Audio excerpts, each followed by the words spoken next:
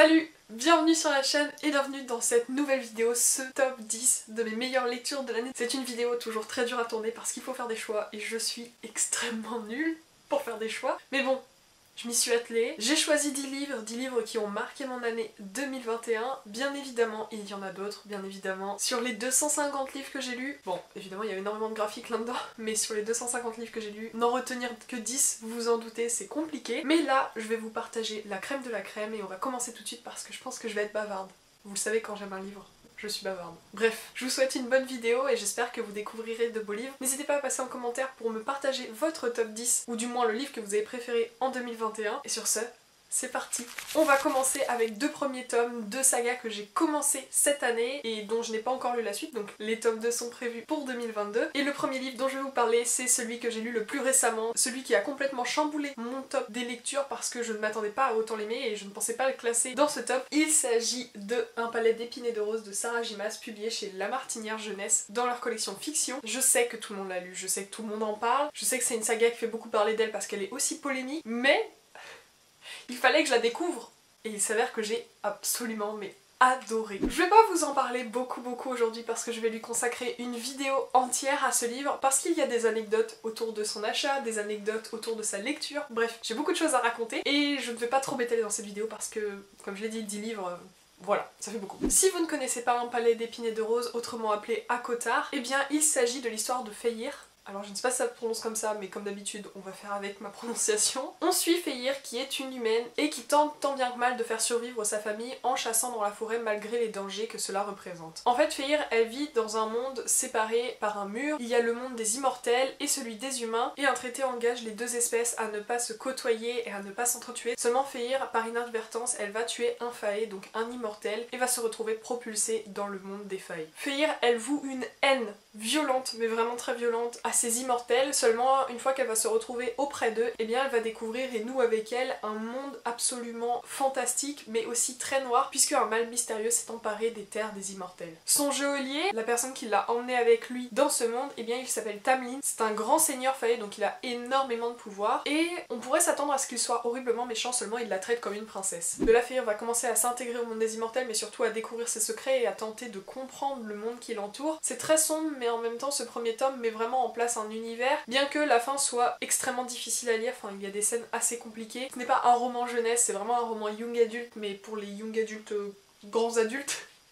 Ce que j'ai aimé, c'est tout simplement le monde des failles. Je ne suis pas une grande fan des euh, Enemies to Lovers, bien qu'ici ce soit une des parties de l'histoire, mais j'ai vraiment aimé la plume de Sarah Jima, j'ai vraiment aimé la tournure de l'histoire, et je n'attends qu'une chose, c'est lire la suite. Je dois vous avouer que je repoussais énormément cette lecture, et lorsque je me suis plongée dedans, eh bien je cherchais vraiment la petite bête qui ferait que je pourrais dire ce livre ne mérite pas sa hype, et il s'avère que ce livre, pour moi, mérite sa hype. J'ai vraiment adoré du début à la fin, et l'univers est très très riche, donc euh, c'est un grand oui pour ma part. J'espère que la suite sera à la hauteur mais en tout cas, ce premier tome, il est même dans mon top 3 de mes lectures de l'année, et ça c'est certain. J'ai vraiment adoré et je l'ai lu en deux jours. Voilà, je l'ai lu en deux jours alors qu'il fait 530 pages. Je ne suis pas du genre à dévorer les romans de fantasy normalement, mais là pour le coup, euh, j'ai pas pu résister. Le livre suivant est aussi un premier tome d'une saga de fantasy, vous l'aurez compris. Il s'agit de La passeuse de mots, donc le premier livre de Alric et Jennifer Twice, publié chez Hachette Roman. Et voilà, je pense pas que j'ai besoin de me justifier, je lui ai consacré une vidéo entière, j'ai littéralement adoré l'univers, la plume de Alric et Jennifer Twice qui est extrêmement riche. J'ai appris des mots dans ce livre, j'ai rêvé et j'ai parcouru plein de mondes différents et c'est là tout l'intérêt de ce livre. Bien que ce soit un premier tome, qu'il soit très long, c'est un énorme pavé qui fait, attention, plus de 730 pages, et eh bien en fait on voyage dans tellement d'univers différents qu'on n'a pas le temps de s'ennuyer, bien que le début soit un petit peu lent, parce qu'il y a une grosse mise en place de l'intrigue et aussi de l'univers, et je trouve que cela est nécessaire. Mais certains peuvent trouver ça lent, pour ma part ça n'a pas du tout été le cas, j'ai littéralement dévoré ce livre et je l'ai adoré comme on peut voir avec tous les petits post-it. Dans ce livre, nous suivons Arya qui est une jeune femme qui vit à la capitale avec sa famille. Elle adore lire et elle rêve de magie, bien que ce soit interdit dans le royaume où elle réside. En fait, il y a un traité qui a été signé pour que la magie ne soit pas utilisée au sein du royaume, et Arya du coup découvre cette magie seulement dans les livres qu'elle dévore, et elle adore aussi la pâtisserie. Bref, là ce n'est pas le plus gros du synopsis. En fait, Arya, elle va être séparée de sa famille le jour de la signature du traité, donc du renouvellement de ce traité qui empêche les résidents du royaume de faire de la magie en son sein, parce que ce jour-là, des rebelles cavaliers de glace des chevaliers, cavaliers, je ne sais plus. Bon bref, la capitale du royaume est mise à feu et à sang, c'est le chaos littéralement et Arya va être séparée de sa famille et elle va se découvrir être la clé du chaos qui règne dans son monde et c'est magnifique. Arya va être accompagnée par des personnages attachants qui vont la guider pour découvrir la force le pouvoir et la puissance des mots qu'elle peut contrôler elle parce qu'elle a été choisie comme passeuse de mots malgré elle, elle n'était pas au courant. Et c'est toute cette aventure, toute cette quête pour trouver des mots, pour découvrir qui elle est et son pouvoir que l'on va découvrir dans cette histoire, en tout cas dans ce premier tome. Et je peux vous dire que la plume d'Alric et Jennifer Twice vous en met plein les yeux. Les détails qu'il y a pour raconter les scènes, pour dire les lieux qu'elle traverse sont absolument magnifiques et c'est ce qui m'a littéralement bouleversée dans ce livre. J'ai adoré, j'ai vraiment vraiment vraiment trop aimé. Le second tome est dans ma pile à lire, je l'ai acheté au salon de Montreuil. Il est dédicacé par les auteurs que j'ai rencontrés du coup pour la deuxième fois puisque j'ai acheté celui-ci lors de la sortie du second tome d'une rencontre avec les auteurs, du coup j'ai aussi ma dédicace dans celui-ci. Je n'ai qu'une hâte de découvrir le second tome et vous en dire ce qu'il en est, mais le premier réside dans ce top 10 et c'est vraiment sans hésitation qu'il a sa place ici.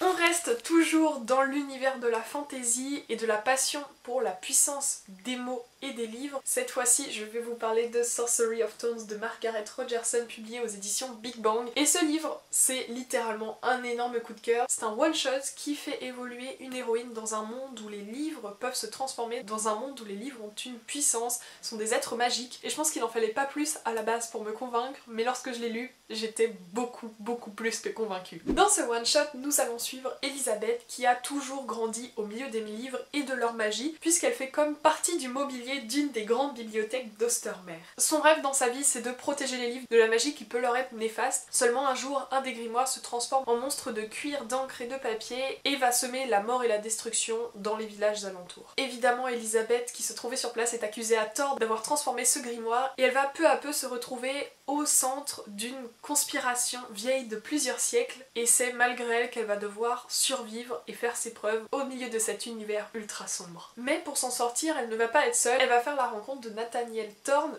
comme dans la passe miroir, s'il y a un Thorne évidemment, je fonds Bref, elle va faire la rencontre de Nathaniel Thorne et de son mystérieux serviteur qui s'appelle Silas. Et avec ces deux personnages, eh bien, elle va tenter de sauver les grandes bibliothèques qui sont mises en péril par cette conspiration qui, semblerait-il, ne la menace pas seulement elle. Ce que j'ai adoré une nouvelle fois dans ce livre de fantasy, c'est que la plume de l'autrice est ensorcelante et surtout le personnage principal est obligé de remettre en question tout ce qu'elle pensait induit, tout ce qui lui était dû. C'est vraiment vraiment très très beau. C'est une histoire qui va droit à l'essentiel mais en même temps elle parvient à donner beaucoup de détails sur un univers que j'aurais aimé être beaucoup plus développé. Je vais pas mentir, ça ne m'aurait pas du tout embêté qu'il y ait 10 tomes de cette saga. Bien évidemment ça me fait vraiment plaisir que ce soit un one shot et que l'histoire tienne en un seul livre mais avec un univers aussi riche, j'aurais aimé en découvrir plus, d'autant plus que Elisabeth et Thorne et Silas sont des personnages mais incroyable. Les personnages sont très creusés dans cette histoire, les personnages sont absolument géniaux et très différents les uns des autres. On n'est pas sur euh, des héros parfaits, loin de là, et leurs différences les poussent à être meilleurs. Enfin bref, j'ai littéralement dévoré ce petit bijou et je vous le recommande chaleureusement. Si vous aimez les livres, je ne doute que ce ne soit pas le cas si vous êtes sur cette vidéo, mais si vous aimez les livres et les romans de fantasy, vraiment il faut se lancer dans ce livre. Surtout vous prenez pas trop de risques vu que c'est un one shot. Pas besoin de lire la suite pour savoir le dénouement final. Là, vous serez conquis en un seul livre si c'est pas beau.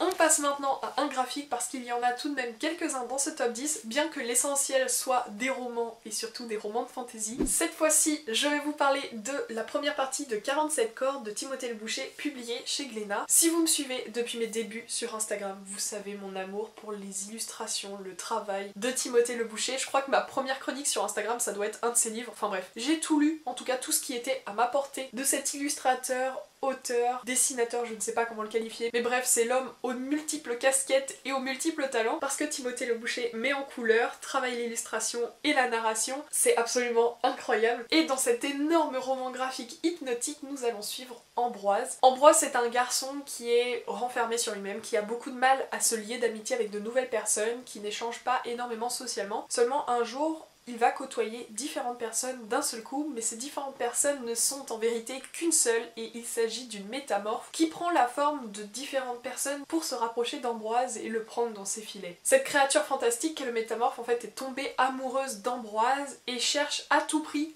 à ce que celui-ci l'aime en retour et pour cela il va prendre différents visages, s'immiscer de différentes façons dans la vie d'Ambroise et tenter coûte que coûte de le faire tomber amoureux de lui. Ambroise lui est complètement inconscient de l'obsession dont il est objet et il va se lier de différentes façons à ce métamorphe. Un jour il va rencontrer Francesca alors qu'il cherche à acquérir une légitimité au sein de l'orchestre qu'il vient intégrer et cette Francesca eh bien elle va l'aider. En fait, elle va le prendre sous son aile et Francesca, c'est une cantatrice de haut nom et elle va lui proposer de relever 47 défis pour obtenir 47 cordes d'une harpe fabuleuse. Ambroise qui rêve de cette harpe, eh bien il va accepter, mais seulement s'il rate un seul des 47 défis, la harpe lui échappe. Et ainsi, Francesca va l'obliger à produire, faire des choses qu'il n'aurait jamais fait par lui-même auparavant. Vous en doutez, Francesca c'est pas n'importe qui, c'est cette certaine métamorphe et on va suivre le périple de ces deux personnages dans cette première partie qui regorge déjà de beaucoup de rebondissements et d'une fin c'est un énorme cliffhanger en fait. Il me faut la suite.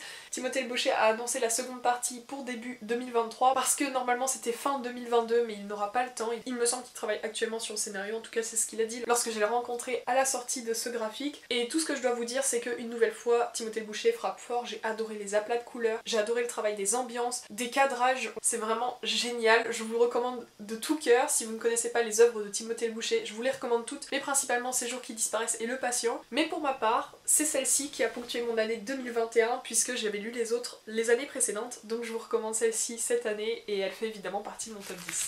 On poursuit avec les graphiques et pas n'importe lequel, je vous en ai déjà parlé plein de fois sur cette chaîne. Il s'agit de Spy Family de Tatsuya Endo publié chez Kurokawa. Ici je tiens le premier tome mais là en l'occurrence, je vous parle des six premiers tomes que j'ai lus, dévorés et absolument adorés. Et j'attends déjà la suite avec impatience qui est annoncée, il me semble, pour le 10 février 2022 un truc comme ça. Bref, pour bientôt. Spy Family, si vous ne connaissez pas, mais qu'attendez-vous pour le lire Il faut le lire Enfin, je ne sais pas comment vous avez pu passer à côté. Enfin, si, c'est possible. Bon, bref. Il faut lire Spy X Family si vous ne lisez pas de manga. C'est le manga parfait pour commencer. C'est de l'humour, du thriller, des enquêtes, du fantastique. Enfin, bref, c'est tout à la fois. Dans Spy X Family, on va suivre trois personnages très différents les uns des autres. Tout d'abord, il y a Twilight, qui est un agent secret et qui va devoir répondre à une mission extrêmement complexe dans laquelle il doit à tout prix avoir une famille pour rencontrer un haut placé avec lequel il ne peut avoir un contact que grâce à une école très très prestigieuse. Et pour se créer cette famille, il va se rendre dans un orphelinat et adopter une certaine Anya. Anya, elle n'est pas comme tous les autres enfants, elle lit dans les pensées, mais Twilight ne le sait pas. Donc techniquement, Anya sait que Twilight est un agent secret. Et pour que sa famille soit plus crédible et qu'il soit accepté dans cette prestigieuse école qui, quand je dis prestigieuse, c'est extrêmement prestigieuse, on est sur un délire, mais genre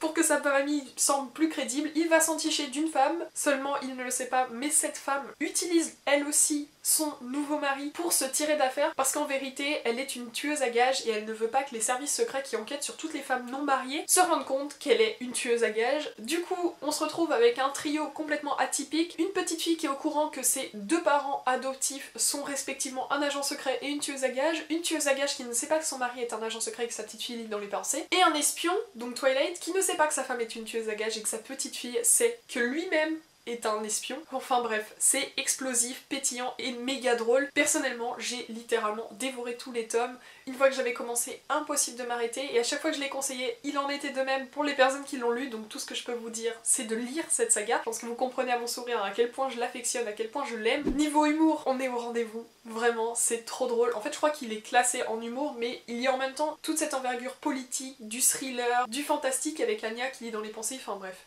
Juste génial. J'en parle depuis février puisqu'il me semble que c'est à ce mois-ci que je l'ai lu. J'en parle tout le temps, littéralement. Félicratie. Évidemment que ce livre se trouve dans mon top 10, même dans mon top 3 de mes meilleures lectures de l'année. Il s'agit d'un roman de H. Lenoir publié chez Sarbacane dans leur collection Exprime et c'est le roman le plus loufoque. Je trouve qu'on enchaîne bien avec Spy X Family parce que ici aussi on est sur de l'humour et de l'humour vraiment bien trouvé. Si vous ne connaissez pas, si vous n'avez pas vu mes précédentes vidéos dans lesquelles j'en parlais, dans ce livre nous allons suivre Yacine qui a 16 ans et son boulot c'est d'être un animal de compagnie pour un extraterrestre. Alors vous allez me dire, qu'est-ce que tu te mets à lire Chloé? En vérité, dans ce livre, on se retrouve dans un monde post-apocalyptique dans lequel des extraterrestres ressemblant mis à des montres religieuses, mis à des fourmis, je ne me souviens plus, mais moi c'était un mix des deux que je m'étais imaginé. Et eh bien ces extraterrestres sont descendus sur Terre et ont décimé l'humanité, sauf quelques humains qu'ils ont utilisés comme animaux de compagnie, et Yacine fait partie de cela. Le truc particulier avec ces aliens, ces extraterrestres, c'est qu'ils sont extrêmement allergiques aux chats au point d'en mourir lorsqu'ils sont en contact avec l'un de ces félins. Et Yacine va avoir le culot, la chance, la malchance, je ne sais pas, parce que si on le découvre, il aura des problèmes, mais on va dire la chance de trouver une portée de chaton dans son immeuble, et avec l'une de ses voisines, qui est elle aussi un animal de compagnie pour extraterrestres, et eh bien il va décider de prendre ses chatons sous son aile et de tout faire pour les expatrier, pour les apporter à la rébellion qui tente tant bien que mal de combattre ces aliens. Donc ce livre, aussi loufoque qu'il puisse paraître, est extrêmement humoristique et palpitant à suivre. Nous allons suivre les personnages dans une épopée pour tenter de sauver l'humanité avec simplement quelques chats. C'est très drôle, c'est vraiment très drôle, ça fait dix fois que je le dis, je pense que vous avez compris. C'est bien pensé, bien trouvé et l'univers, bien qu'il semble bizarre, fonctionne vraiment bien lorsqu'on lit ce livre, il est impossible à lâcher, on s'y croit vraiment et on rigole. Et je pense que c'est vraiment essentiel. Une de mes meilleures lectures de 2021, sans nul doute. Je vous en ai parlé récemment aussi dans mon top 10 figure Mauvaise herbe de Keigo Shinzo. Ici c'est le premier tome mais j'ai lu les trois premiers et j'ai adoré les trois premiers. C'est publié chez Le Lézard Noir et ce livre c'est l'histoire de deux personnages qui vont se rencontrer et être amenés à se sauver l'un l'autre. On fait d'abord la rencontre du lieutenant Yamada qui lors d'une descente d'une maison close déguisée en salon de massage va lui-même faire la rencontre d'une lycéenne qui s'appelle Shitori et qui ressemble à s'y méprendre à sa fille décédée. Cette rencontre va bousculer les quotidiens des deux personnages qui vont tenter l'un l'autre de se sauver parce qu'il s'avère que Shiori est une lycéenne fugueuse parce que sa mère là-bas et Yamada, bien que ce soit interdit, va tenter de sauver cette jeune femme en l'accueillant chez lui et s'engage un quotidien, une tranche de vie très touchante mais aussi très difficile parce que vous vous en doutez, tous deux évoluent dans des univers sombres. Shiori fait partie de ces adolescents abandonnés par la société et Yamada lui enquête sur des choses très très sombres et évidemment ce sont deux points de vue extrêmement touchants que l'on découvre dans ce manga. J'ai adoré les graphismes, j'ai adoré le point de vue, certes très touchant mais aussi véridique. Le mangaka ne cherche pas à faire dans le grandiose, on suit vraiment une tranche de vie et c'est beau, c'est simple et j'ai littéralement adoré, d'autant plus que Shiori, eh bien elle est liée au dessin. Le prochain livre qui fait partie de ce top 10 de l'année 2021 figure aussi dans mon top 3, donc j'ai présenté mes 3 meilleures lectures de l'année. Ce livre j'en ai parlé je ne sais combien de fois, je lui ai dédié même une vidéo. Ce livre il s'agit de La vie invisible d'Adi Larue de Vioshua publié aux éditions Lumen et c'est un énorme bébé un one-shot qui raconte la vie d'Adi Larue, qui est un personnage invisible, du moins un personnage dont personne ne se souvient. On se retrouve en 1714 et Adi s'apprête à se marier, seulement elle est complètement désespérée, elle ne veut pas rester dans son village, elle veut voyager, elle veut parcourir le monde et elle ne veut certainement pas se marier. Du coup c'est dans un excès de désespoir qu'elle va aller prier au pied de la forêt les dieux pour la sauver, seulement elle ne va pas se rendre compte que la nuit est tombée et il est fortement déconseillé de prier, d'appeler les dieux une fois la nuit tombée puisque ce sont des êtres malveillants qui répondront et c'est ce qui va arriver à Adi Larue et dans son désespoir eh bien elle va sceller un pacte avec ce qui pourrait s'apparenter au diable. Ce pacte, c'est qu'elle pourra vivre éternellement seulement, personne ne se rappellera d'elle. Elle ne peut laisser derrière elle aucune trace, pas même une signature, du coup elle ne peut posséder quelque chose, personne ne se souvient d'elle et c'est absolument terrible. Et c'est le quotidien qu'elle va vivre jusqu'à nos jours, jusqu'à ce qu'elle rencontre quelqu'un dans une librairie qui va lui dire qu'il se souvient d'elle. La vie d'Adi Larue est ponctuée de moments extraordinaires, pétillants, foisonnants de détails et surtout d'émerveillement. Adi Larue c'est un personnage qui a du culot, en tout cas qui en a au fur et à mesure de cette vie invisible, vu que personne ne se souvient d'elle, eh bien elle vit au gré de vols, de mensonges, et avec cela elle voyage à travers le monde. La première fois qu'on la rencontre c'est en France, dans la Sarthe, et à la fin de cette histoire on se retrouve à New York à ses côtés. C'est vraiment bouleversant, c'est très touchant, c'est une histoire qui est assez lente, il faut aimer les histoires un petit peu contemplatives, mais pour ma part ça l'a totalement fait. Je suis littéralement tombée amoureuse de ce livre qui est certainement ma meilleure lecture de l'année. Encore deux livres et vous connaîtrez enfin mes 10 meilleures lectures de l'année 2021. Le suivant est un album, je n'en ai pas encore présenté, pourtant j'en ai lu beaucoup et beaucoup m'ont marqué, mais vous en doutez, une lecture qui se lit en si peu de temps a beaucoup de mal à faire le poids à côté d'un livre dans lequel on se plonge pendant une semaine entière. Donc évidemment il y a moins d'albums dans ce top, mais il n'empêche que j'ai fait d'extrêmement bonnes découvertes. Et j'ai choisi d'en placer un dans ce top 10. Il s'agit de Le Talisman du Loup, illustré par Julia Sarda, et c'est un livre qui s'apparente à un conte avec des illustrations avec un style graphique très fort et des couleurs automnales. Bref, je l'ai lu à la bonne période donc évidemment je l'ai adoré pour cette raison. Mais en plus de cela, ce livre m'a permis de découvrir les illustrations de Julia Sardak. J'adore son travail, j'adore ses teints, j'adore son univers graphique qui reprend beaucoup d'éléments liés à la nature et je me suis prise d'affection pour cette histoire qui compte la rencontre entre un loup et une femme dans la forêt à travers la magie d'un talisman qui va permettre au loup de parler à cette jeune femme. C'est poétique, c'est doux, c'est beau et la morale est très belle. Je vais pas vous en dire plus parce que j'en ai parlé récemment dans une vidéo, mais c'est une histoire très contemplative avec des illustrations au style particulier que je n'avais jamais croisé auparavant dans un livre, donc je vous recommande chaudement de découvrir cet album, que vous soyez un adepte ou non du genre. C'est une belle lecture pour l'automne au chaud sous sa couette.